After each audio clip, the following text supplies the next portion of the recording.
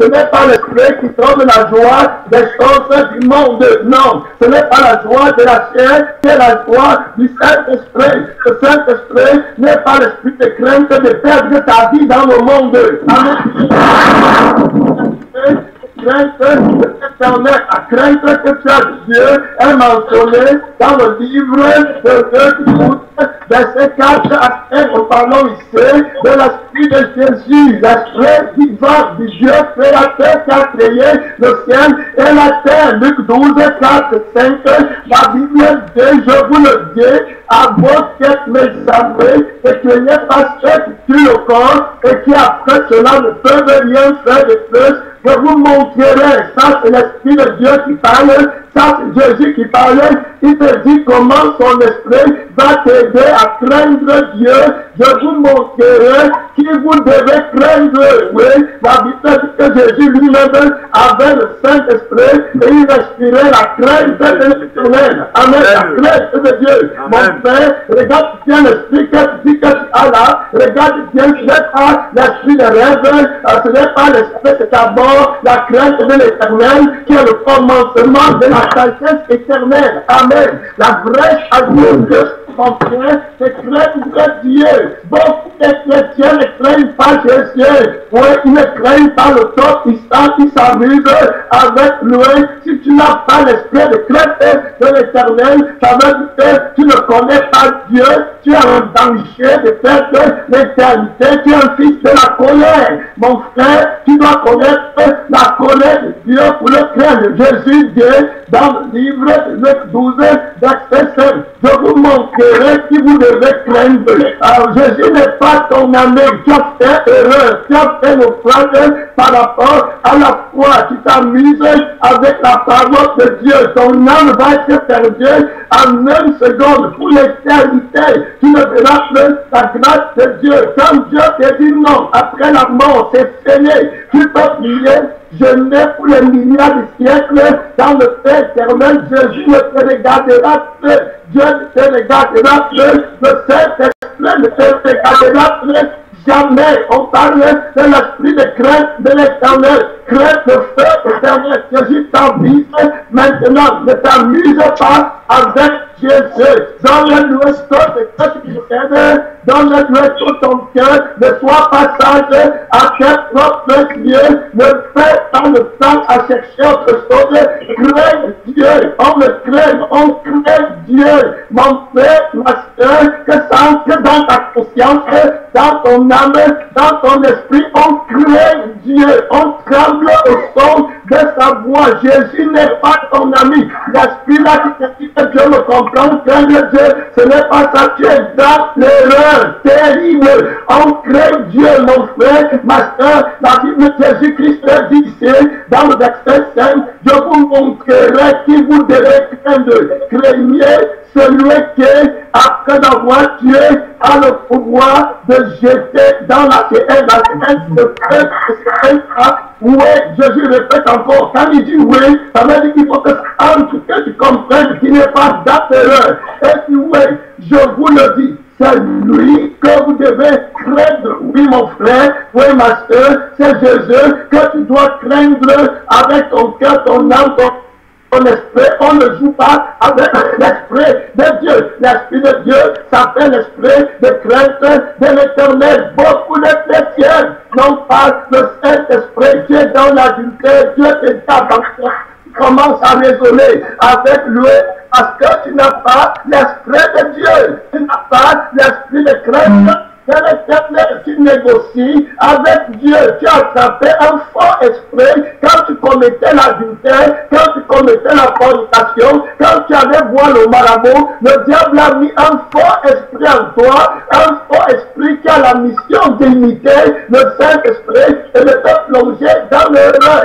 tu appelles l'esprit là depuis le Saint-Esprit, tu chantes à la chorale avec les maquillages et les pantalons, et tu sens une sensation dans ta chair, tu crois que c'est le Saint-Esprit, mais tu ne crains pas Dieu. Tu as un esprit qui fait que tu ne crains pas Dieu, sache que tu es dans l'erreur. Mon frère, est-ce que tu as fait la purification de tes anciens péchés? Tu prêches, mais tu es toujours dans le péché, tu ne crains pas Dieu, tu ne sens pas ta misère, tu ne crains pas la colère à venir parce que tu n'as pas le vrai esprit de Dieu. Esaïe, chapitre 11, 10, c'est à partir du verset 2, l'esprit de l'éternel reposera sur lui, esprit de sagesse et d'intelligence, esprit de conseil et de force, esprit de connaissance et de crainte de l'éternel, mon frère, ma soeur, esprit de crainte de l'éternel, peut travailler à votre salut avec crainte et calmement. Oui, à la vérité.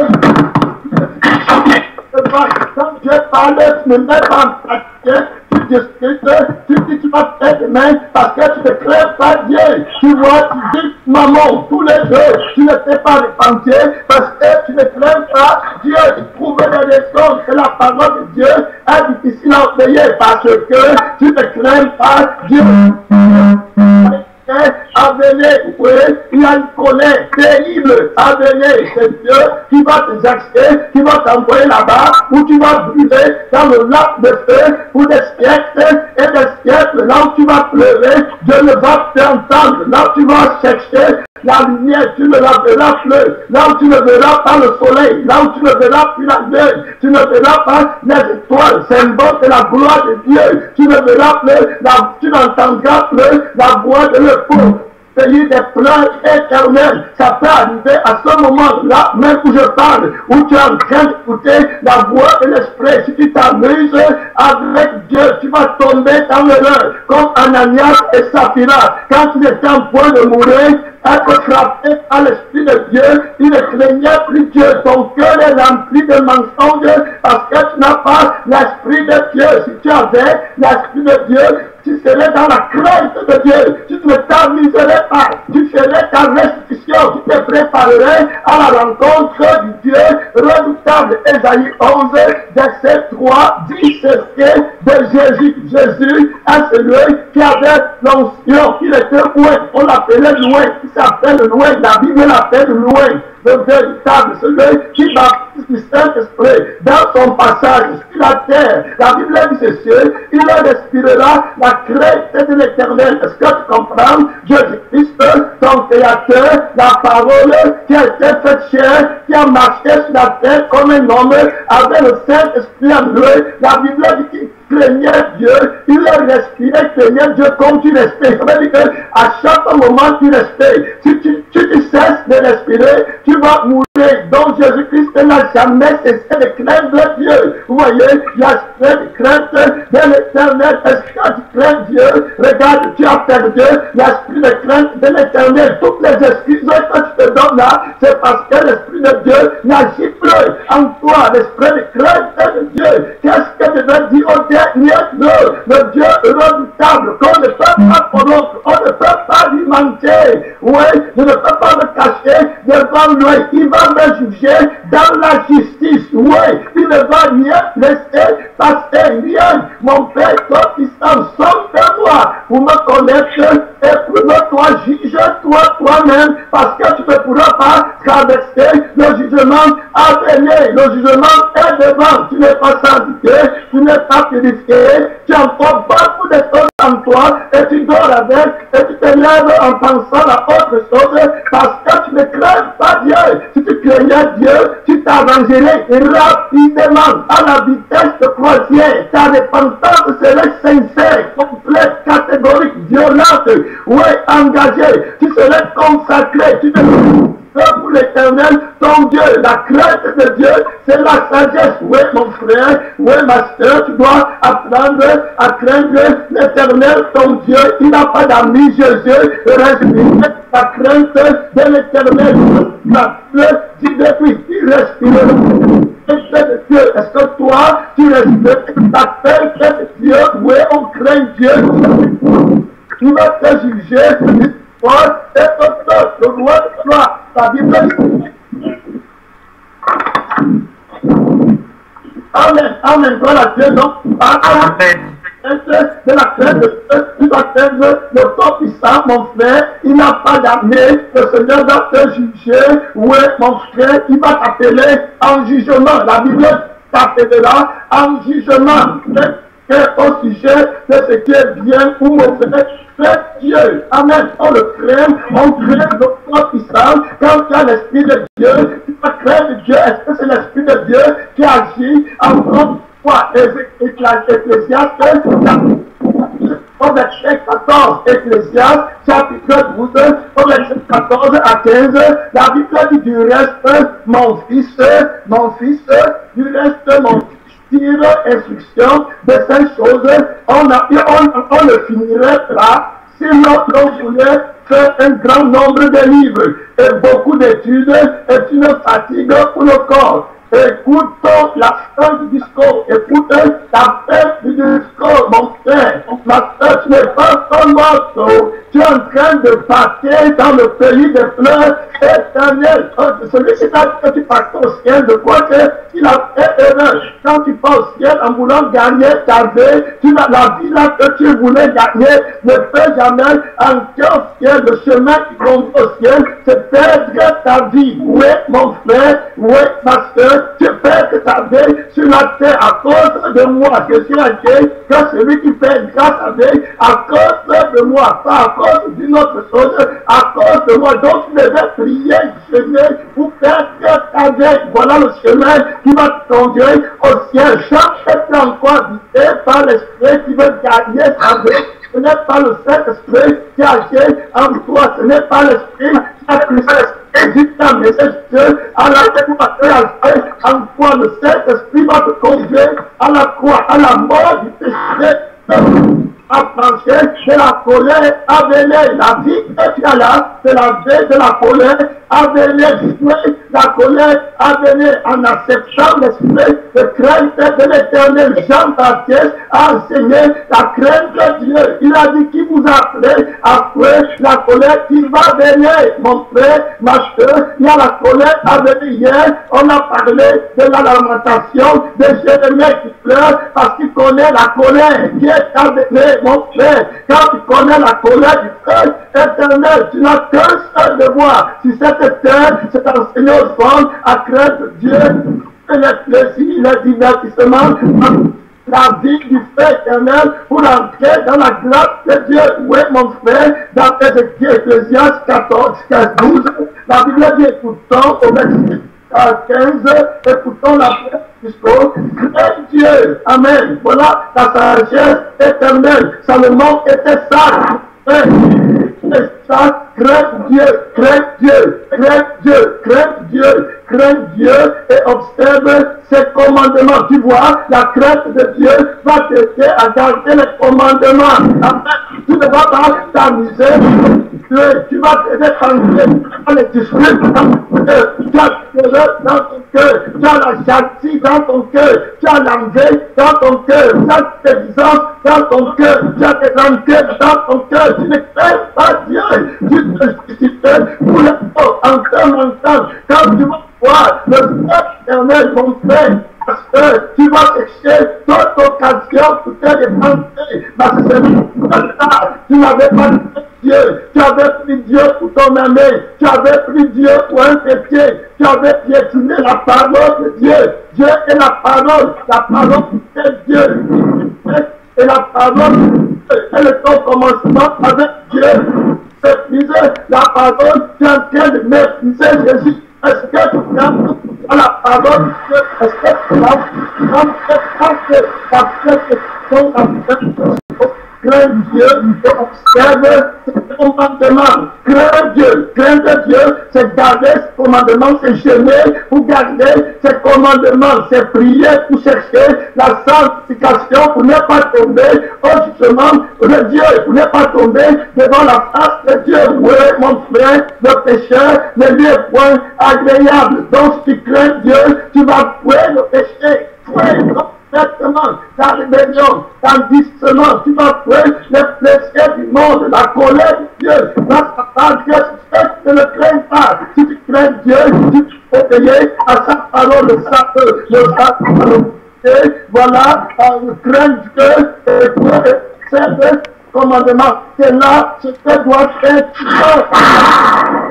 Tout homme qui fait as été créé par Dieu, te voilà dans le péché. Tu ne combats pas le péché. Tu te manques que tu es chrétien. Tu ne cherches pas la sanctification, la purification par le jeûne. J'ai déjà enseigné ce que Dieu chercher la sanctification. Ce n'est pas une minute de prière. Ce n'est pas une heure de prière. Tu cherches la sanctification toutes les heures de la vie que Dieu t'a donnée dans une journée. Oui, tu pries sans cesse ton cœur, ton âme, ton esprit, ta conscience, ta pensée ne sont orientées que vers un seul point. Tu ne veux pas tomber sur le jugement de Dieu. Tu veux le caractère de Christ.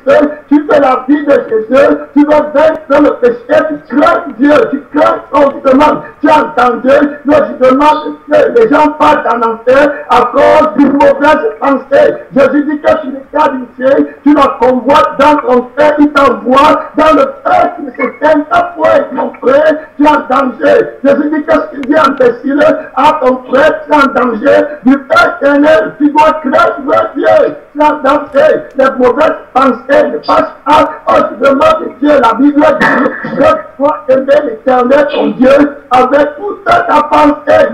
Tu dois craindre Dieu, tu dois trembler à la parole que tu as entendue. Tu n'as qu'un travail sur la terre, c'est rechercher la sanctification sans laquelle personne ne fera le Seigneur. Oui, voilà le travail que Dieu t'a donné. Tu dois garder le temple de Dieu saint. Jésus vient pour l'église sainte, crains Dieu avant qu'il ne soit trop tard, avant que les jours ne viennent. Quand tu vas dire, oh, si je savais, Seigneur Jésus, si je savais, je devais m'en foutre toutes les choses sur la terre. Je devais m'en foutre d'être pauvre, je devais m'en foutre d'être rejeté, je devais m'en foutre si je n'ai pas mon nom à, la île. Seigneur Jésus, je devais pas me concentrer à chercher la sainteté pour éviter la colère à venir. Maintenant, il est trop tard, il est trop tard, il est trop tard. Le Seigneur est parti, je ne peux plus voir sa face, je ne peux plus espérer en sa miséricorde. C'est trop tard pour moi. Est-ce ce sera trop tard le pays de pleurs éternel parce que tu n'as pas craint Dieu. Le verset 16 dit, car craint Dieu, c'est là ce que doit faire tout homme. Car Dieu amènera toute œuvre en jugement. Est-ce que tu comprends? Tu n'es pas encore mort tu vois, tu raisonnes parce que tu ne crains pas Dieu. Tu n'as pas l'esprit de crainte de l'éternel en toi. Si tu avais l'esprit de crainte de l'éternel, tu ne serais pas là en train de tourner. La crainte de Dieu est le commencement de la sagesse. Oui, crains Dieu? Le Seigneur n'est pas ton ami. Il a un jugement à venir qui va s'abattre sur toi. Car Dieu amènera toute œuvre en jugement au sujet de tout ce qui est caché. Tu comprends? Tout ce qui est caché, mon frère. Tout, tout ce qui est caché, il faut bien comprendre. Tout ce qui est caché, oui, réfléchis encore, médite encore, très bien. Tout, tout ce qui est caché que tu as fait dans le conjugal, que tu as fait dans le secret, dans les pensées que tu as fait, oui, mon frère, tout ce qui est caché, tous les péchés que tu n'as pas confessé, devant témoin, Jésus va mener en jugement, il n'est pas ton ami, on t'avait menti, on t'a prêché un faux évangile, Dieu ne connaît pas de secrets. Il a dit que tout ce qu'on te dit dans la chambre, dis-le sur le toit. Quand David a péché avec Bathsheba, Jésus a montré à toute la terre. Alors que c'est le même Jésus qui avait dit que j'ai trouvé un homme selon mon cœur, mon frère. Dieu n'est pas ton ami. Répands-toi, sors de ta cachette, crains Dieu, marche dans la lumière, à l'extérieur comme tu as l'intérieur. Accepte la honte monde, on accepte la honte de ce monde pour faire honte à venir pour faire sort de ta vie de péché. La Bible dit qu'il va t'amener en jugement. Ouais, sois-en certain, tu vas être jugé devant le trône de Dieu. Répands-toi ton avec l'esprit de crainte de l'éternel pour te sauver, pour ton âme. Sauve-toi pour ton âme. Ne regarde pas l'hôtel, ne regarde pas le frère, ne regarde pas la sœur, non. Sauve-toi, ton âme est innée. Ne regarde pas les autres, consacre-toi à Dieu. Dieu va t'appeler en jugement. Prépare-toi à la rencontre de Dieu. Tu es venu à l'église pour te préparer à la rencontre de Dieu. Tu n'es pas venu à l'église pour suivre les autres non. Tu es venu parce que tu te prépares. Le temps là arrive, tu vas te présenter seul devant Dieu. Est-ce que tu as regardé ta vie bien? Même Il y en a plusieurs là, à plusieurs personnes qui ne mettent pas la parole de Dieu en pratique. Mon frère, tu ne vas pas entrer au ciel ou ma soeur, tu n'entreras pas au ciel par l'enchantement. Non, si tu as un péché que tu n'as pas confessé, donc tu n'étais pas dépensier, tu n'entreras pas dans le royaume des cieux. Dehors les impudents, dehors les chiens, dehors les lâches, dehors ceux qui ne portent pas de bons fruits sont coupés et jetés dans le feu. Il y a la colère à revenir. Prépare-toi, travaille pour ne pas entrer dans le feu éternel. Amos 4, verset 12.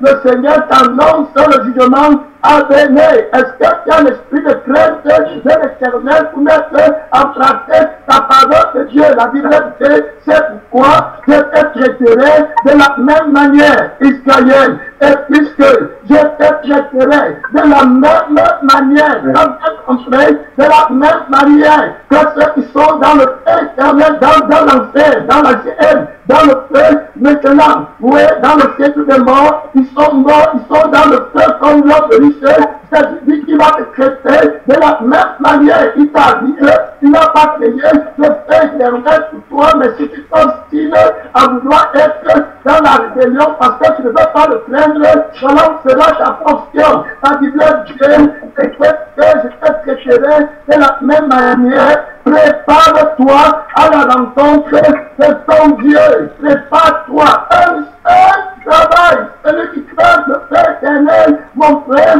ma soeur, un seul travail, la sanctification, sans laquelle je ne verrai pas le Seigneur, la crainte Dieu, oui, pour faire la colère à venir. Est-ce que tu sais Dieu?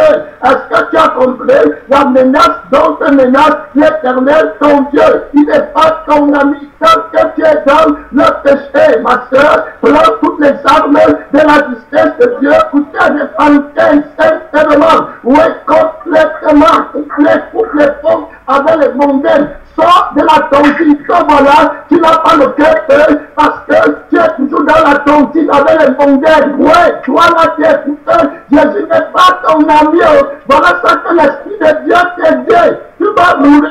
Je te raconter l'histoire d'un frère qui est en train de au ciel avec Jésus et Jésus l'a amené vers l'enfer. Il voyait les gens qui tombaient dans le feu. Et puis, il a vu un frère qui était à l'église quand il était en train se dans le feu. Et il a dit à Jésus, Jésus, c'est lui, c'est un frère. Le voilà qui est en train de prier avec nous dans la célèbre où tu m'as pris. Il a jeûné, le frère qui a jeûné pendant sept jours.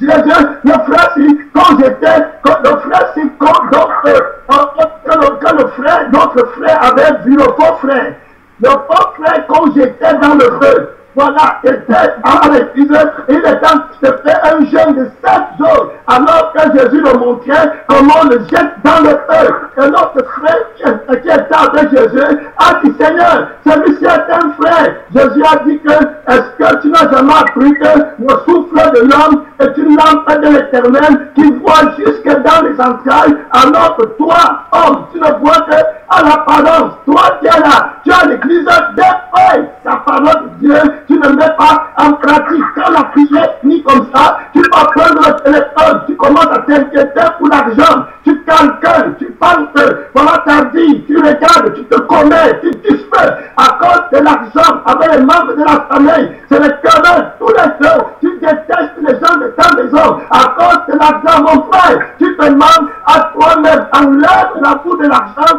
ton cœur. Tu n'entreras pas au ciel. Tu n'es pas en combo. La là, où tu entres avec les mondains. Tu n'entreras pas au ciel avec. Tu n'auras pas le cœur peur. Ne vous mettez pas avec les incirconcis sur un jour étranger. Voilà où vient ton prophète. Répare-toi pour que tu.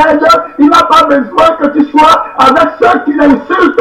Et un homme qui ne s'assied pas en compagnie des méchants et des moqueurs. Ceux qui ne connaissent pas Dieu, tu es en train de désobéir parce que tu ne n'aimes pas Dieu. Tu vois, tu prends Dieu pour condamner. Tu t'attends au tournant. Il dit que comme il a parlé et que tu n'as pas écouté, comme il a tendu sa main et que tu n'as pas pris, le jour où tu seras dans le malheur, tu vas aussi l'appeler, il ne va pas te comprendre. Le jour-là, mon frère, c'est le côté de la mort,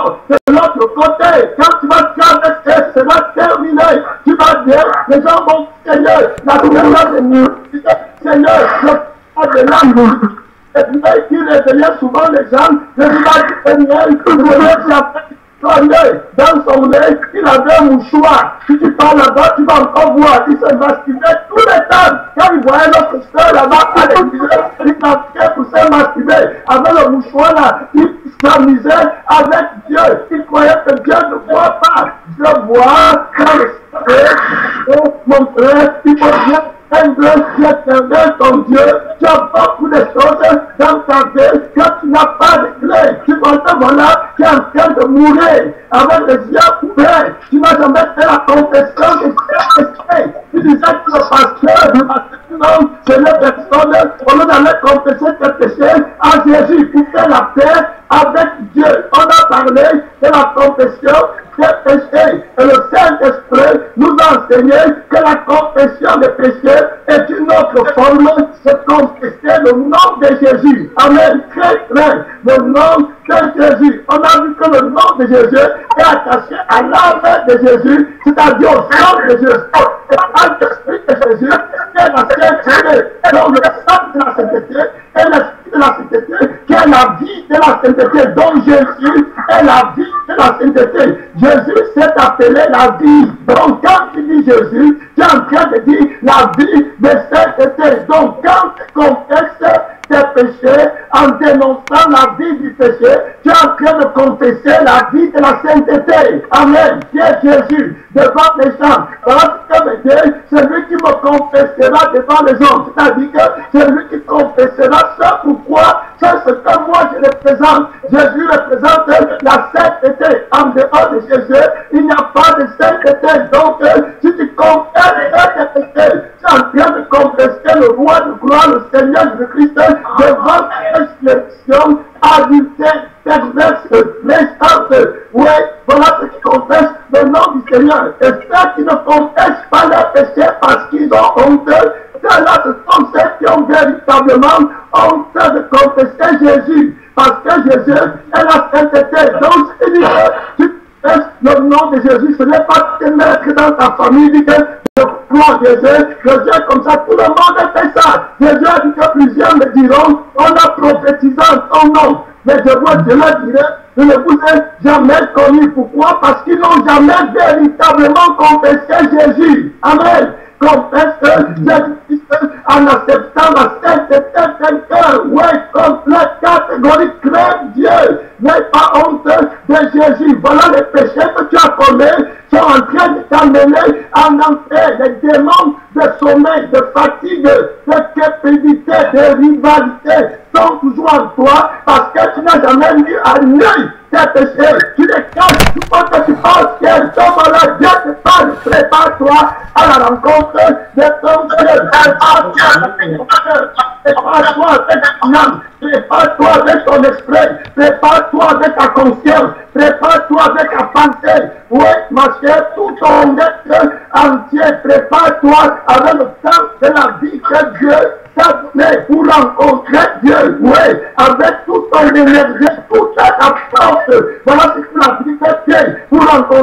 Jésus, le roi, le roi du sable, qui ne laisse rien passer. Et quoi passer supplie-le. Par le jeûne, par la prière, agonise dans le cœur. Tu veux la vie éternelle, tu veux la sainteté, la tu ne négocies pas, tu ne blagues pas, tu vas aller au ciel, aie pitié de ton âme, crains Dieu, mon frère, ma soeur, le jugement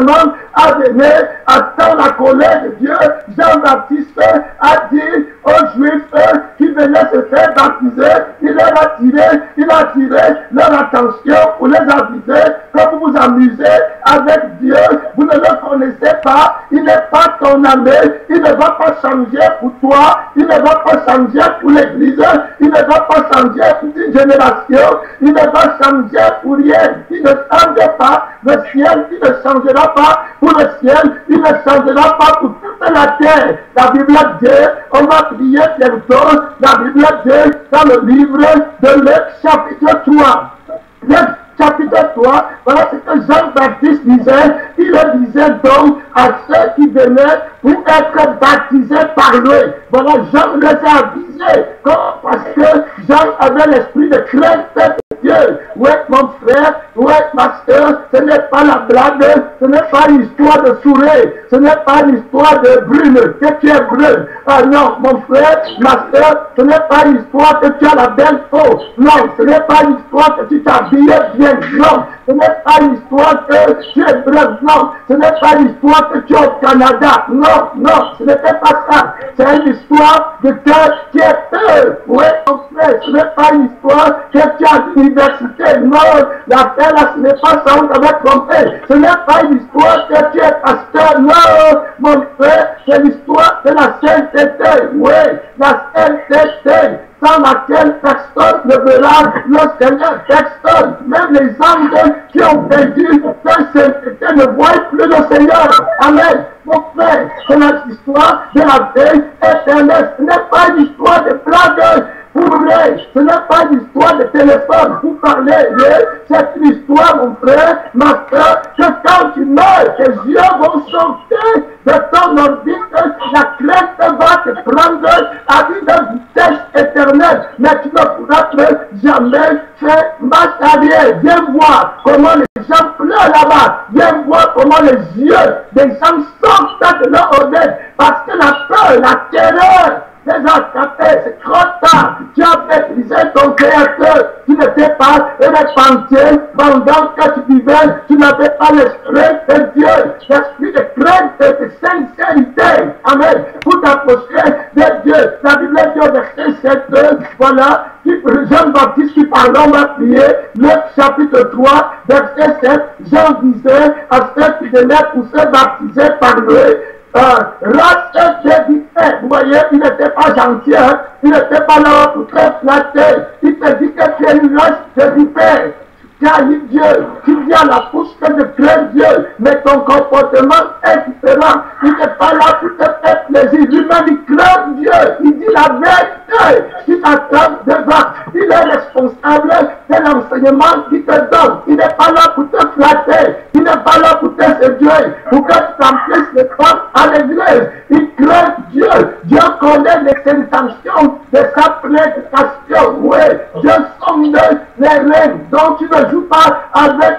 Il te dit clair, comme Jésus lui-même a dit, race de vipères, génération adultère et perverse. Jésus appelait les hommes de son temps. Et il se race de vipères qui vous a appris à faire la colère à venir. Amen. La crainte de Dieu qui t'appelle à craindre Dieu.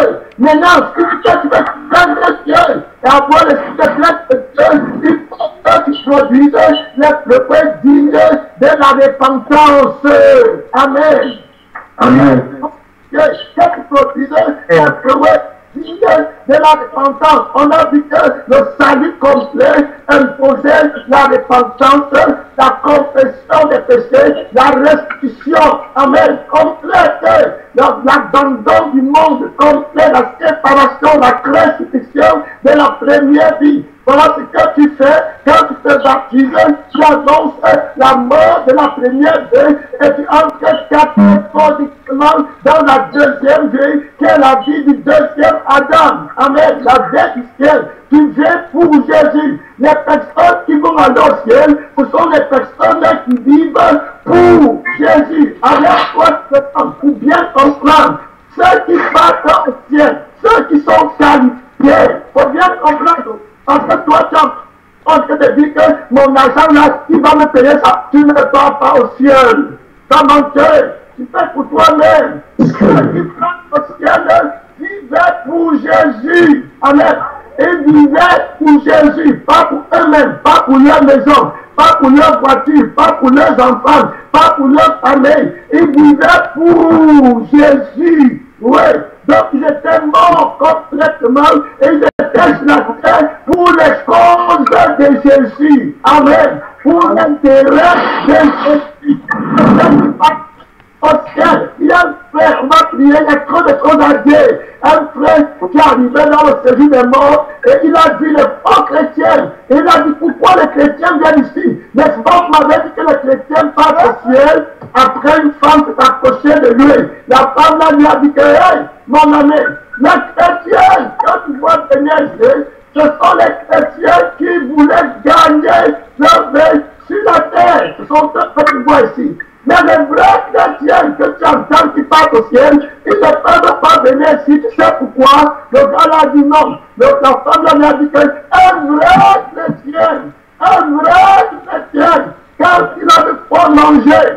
de quoi se vêtir, cela lui suffit parce qu'il vit pour son maître. Amen. Il ne vit pas pour lui-même. Il n'a pas d'intérêt sur la terre. Il vit pour Jésus. Il a tout laissé. Donc quand on prend les choses du monde, ça ne lui dit rien. Amen. Il a tant qui pense qu'il s'est préparé avec son corps, avec son âme, avec son esprit, à rencontrer son être.